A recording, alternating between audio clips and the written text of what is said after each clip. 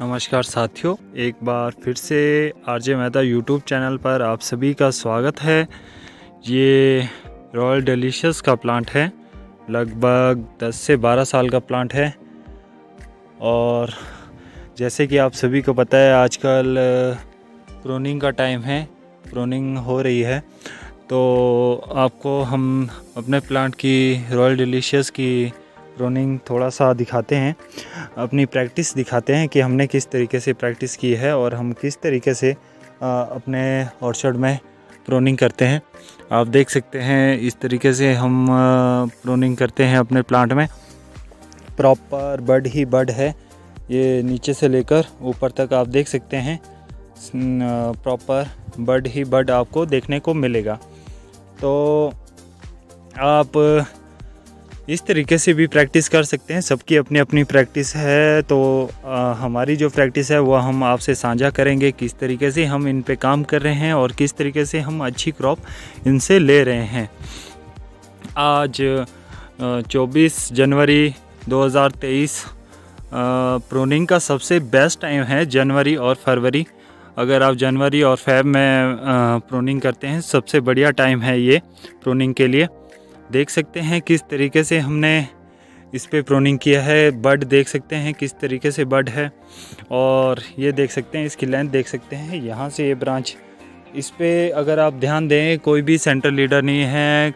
सारी की सारी मल्टीपल लीडर है इसमें, इस प्लांट में। और देख सकते हैं, यहाँ से ये ब्रांच अगर हम इसको लें कि देख सकते हैं, नीचे से इधर को भी ब्रांच है, इधर को भी, इधर को भी, हर तरफ़ को ब्रांच ही ब्रांच है। हमने जो भी मोटी ब्रांच है उसको मेन ब्रांच ले मानकर बाकी जो उससे निकली है वो प्राइमरी सेकेंडरी ब्रांच सब रखा है जो बहुत ही आ, क्या बोलते घना था जैसे इस तरीके से उनको हमने कट कर दिया है। बाकी सब ब्रांच हमने रखा है जो मेन ब्रांच से निकला है। इस तरीके से जो सेकेंडरी ब्रांच है प्राइमरी से जो निकली है उनको हमने स्टॉप कर दिया है। इस तरीके से देख सकते हैं। बाकी हमने मैक्सिमम ब्रांच रखा है। और सबसे अच्छी जो ये प्रोनिंग है, ये है सनी एरिया वालों के लिए, जिसका सनी साइड है, उनके लिए ये बेस्ट प्रोनिंग है। आप ऐसा कर सकते हैं, क्योंकि मेरा खुद का ऑर्चर्ड भी सनी एरिया में है। तो मैं लाइट प्रोनिंग करके, ना तो इसमें देख सकते हैं, ज़्यादा कहीं घाव नहीं है। और ना ही इसमें उतना कैंकर वगैरह की दिक्कत अब मुझे आ रही है। स्टार्टिंग में मुझे काफ़ी दिक्कतें इसमें आती थी। अगर मैं इसमें काफ़ी हेडबैक देता इनको पीछे लाता सारा का सारा जैसे कि आप इस ब्रांच को देख पा रहे हैं ये वाली ब्रांच कितनी लंबी है कितने आगे तक है। अगर मैं इसको पीछे लाता ब्लॉक करता इसको क्लस्टर से पीछे लाता तो मुझे डेफिनेटली पे, पेपड़ी बार और कैंकर की दिक्कत का सामना करना पड़ता। पर मैंने क्या किया कि इसको आगे से लाइट प्रोनिंग से वहाँ पे ब्लॉक कर दिया है और इसमें प्रॉपर बर्ड देख सकते हैं। यहाँ पीछे से लेकर आगे तक इन ब्रांच पे प्रॉपर बर्ड आपको देखने को मिलेंगे। और टॉप से ये ब्लॉक हो चुकी है। मेरी जो जितनी मुझे नीड थी, जहाँ तक मैं इससे फ्रूट निकाल सकता हूँ, जितना मैं इसको संभाल सकता हूँ, जितना ये ब्रांच झेल सकती है, वो उतना मैंने इस ब्रांच को रखा है और वहाँ से टॉप से ब्लॉक कर दिया है। बाकी इसमें बर्ड देख सकते हैं, कितने प्यारे बर्ड इसमें बने हैं।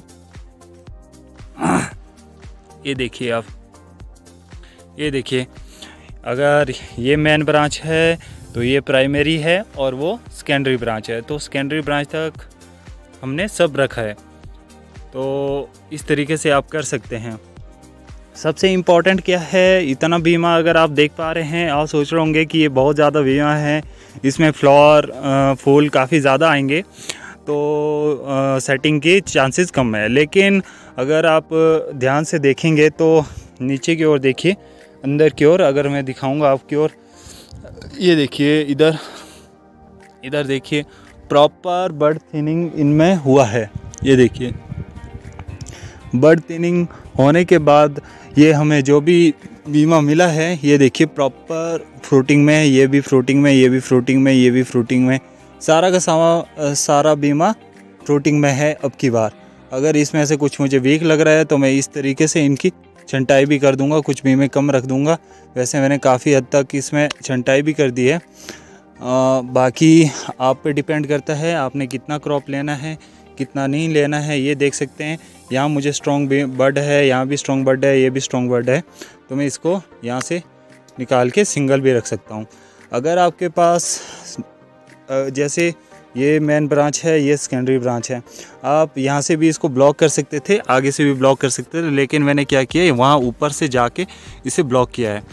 बाकी देख सकते हैं इसमें बर्ड ही बर्ड है, और ये वाली ब्रांच भी देख सकते हैं, ये काफ़ी पतली है, इसको मैं चाहता तो यहीं से ब्लॉक क्लस्टर से ब्लॉक कर सकता था यहाँ से भी कर सकता था, लेकिन मैंने यहाँ स्टॉप कर कर, कट दे के इसको यहाँ पे ब्लॉक किया, क्योंकि मेरे पास खाली स्पेस है। सनी एरिया में आप रख सकते हैं ऐसी ब्रांचें अगर आपका शेडी साइड है तो आपको डेफिनेटली पीछे आना पड़ेगा। लेकिन अभी मेरे पास यहाँ पे बर्ड बन रहा है, और इस ब्रांच में जब बर्ड बन जाएगा तो मैं इसको, ज़्यादा बर्ड अगर मेरे पास होंगे तो मैं इसे धीरे धीरे करके पीछे ला सकता हूँ। ये देख सकते हैं, कितनी छोटी सी ब्रांच है, और इसमें बर्ड देखिए, कितना प्यारा सा है। ठीक है तो आप इसको भी धीरे धीरे पीछे ला सकते हैं जब आपके पास ज़्यादा बर्ड होंगे, जब आपके अंदर तक बर्ड आ जाएँगे। तो आपको क्या, जब ज़्यादा बर्ड होंगे, आपके टॉप से लेकर पीछे तक बर्ड होंगे तो क्या होगा, सेफ़ फ्लो जब रिवर्स आएगा, आगे ज़्यादा ग्रोथ पे प्लांट नहीं जा रहा है, मेरा आप प्लांट देख सकते हैं, मैक्सिमम साथ में भी देख सकते हैं, वो वाला प्लांट देखिए, ज़्यादा ग्रोथ पे है नहीं मेरे कोई भी प्लांट, मैक्सिमम प्लांट में आपको बीमे ही बीमे देखने को मिलेंगे। अभी ये प्रोनिंग नहीं हुआ है, पीछे वाला प्लांट और ये परे वाला भी। तो इसमें बीमे ही बीमे अंदर। तो आप इसमें रिवर्स आ सकते हैं और जब ज़्यादा बीमे आपके पास हो जाएँगे तो अच्छे से बीमे छंटाई भी कर पाओगे और जो सेफ़ फ्लो है वो ज़्यादा ग्रोथ में ना जाके आपका रिवर्स आएगा। रिवर्स आएगा तो आपको ये वाले रिज़ल्ट देखने को मिलेंगे। ये देख रहे हैं आप? ये वाले जो है, ये डोटको टाइप के जो बन रहे हैं, यहाँ से क्या होगा? इस साल आपके यहाँ से शूट आएँगे वाटर शूट आएँगे, इस तरीके से जो भी है। आपके पास। ये तभी होगा जब आपका सेफ़ फ्लो रिवर्स आएगा। ये काम अगर आप कर पाए, जितने भी यहाँ पे सुपताइज है, वो सारी की सारी खुलते खुलते आप सेंटर लीडर तक पहुँचोगे, जो सेंटर में नीचे तना है, वहाँ तक आते आते आपको सात से आठ साल लग जाएँगे। लेकिन एक ना एक दिन आपको ज़रूर वहाँ तक बीमे देखने को मिलेंगे। जब आपके इतने अंदर तक बीमे देखने को मिलेंगे तो आप डेफिनेटली जो है लेंथ वाली जो भी ब्रांच है, ये बाहर बार की, आप इनको भी पीछे ला सकते हैं, क्योंकि आपके अंदर बड बन जाएगा। जब अंदर आपका बड बन जाएगा तो आप जब पीछे पीछे आएँगे तो आप क्वालिटी फ्रूट उस टाइम अंदर से निकालोगे। तो अगर आप स्टार्टिंग में ही हेडबैक मारोगे इतने मोटे मोटे घाव देंगे तो डेफिनेटली आपके क्या होगा, वहाँ पे कैंकर भी आएगा पेपड़ी बार्क भी डेफिनेटली आएगा। तो आप क्या करें, आप टॉप को आगे से ब्लॉक करें या लाइट प्रोनिंग करें टॉप में, और उसके बाद वो सैफ रिवर्स आएगा, उसके बाद धीरे धीरे करके आप पीछे आएँ। इस तरीके से भी काम कर सकते हैं, और इस तरीके से फिर आपके, ये देखिए। ये जितनी भी सुप्त आइज़ है, ये सारी की सारी खुल जाएगी। ये ऐसी ऐसी सारी आइज़ आपकी खुल जाएगी धीरे धीरे। और सारा का सारा प्लांट आपका बर्ड में कन्वर्ट हो जाएगा। जब आपका प्रॉपर बर्ड भर जाएगा अंदर तो आप डेफिनेटली बाहर से किसी को भी ब्रांच अब मैं चाहूँ तो इन ऐसी ऐसी ब्रांच को इधर से काट सकता हूँ। पर मुझे अभी अच्छी क्रॉप मिल रही है क्योंकि मेरे पास कम प्लांट है तो मैं क्यों ना इसको अच्छे से मैनेज करूँ और बाहर तक अच्छे से क्वालिटी फ्रूट लूँ। अगर आप इसको देखें, देखिए ये ब्रांच किस तरीके से सोई है, सारी ब्रांचें सोई है, खुला ओपन लीडर सिस्टम टाइप का ये प्लांट है, बीच से सेंटर से देखिए बिल्कुल खाली है, मैं अभी टॉप में हूँ प्लांट के। ये देखिए, सारे की सारी ब्रांचें खुली है तो प्रॉपर सनलाइट अंदर तक पहुँच रही है, मुझे क्वालिटी फ्रूट इसमें मिल रहा है। तो क्यों मैं इसमें ज़्यादा हेडबैक करूँ? तो इस तरीके से आप काम कर सकते हैं अपने ऑर्चर्ड में। और जैसे कि प्रोनिंग का टाइम है, आप देखते रहेंगे अभी लगभग जनवरी, फरवरी में प्रोनिंग करता हूँ तो आपको अभी प्रोनिंग के रिगार्डिंग और भी अच्छे से अच्छी वीडियो देखने को हमारे चैनल पे मिलेगी। तो आप हमारे साथ बने रहिए। जिसने चैनल को सब्सक्राइब नहीं किया है तो R J Mehta YouTube channel को आप सब्सक्राइब करें और बेहतरीन जो हमारी प्रैक्टिस है, वो हम आपसे, आपके साथ साझा करते रहेंगे। वीडियो को अंत तक देखने के लिए बहुत बहुत धन्यवाद।